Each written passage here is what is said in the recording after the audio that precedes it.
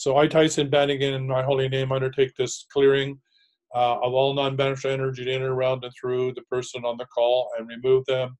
Any curses, intrusions, voodoo, hexes, from any and all sources known or unknown, through the matriarchal, patriarchal lineage, soul family, and star family lineages of any intrusions of the energy field from any and all sources throughout the multidimensional levels of reality and throughout all time, space, dimensions, both known or unknown. I bring all to resolution in, uh, into divine pure light. And I declare it so in my holy name, so be it. It is done. Thank you.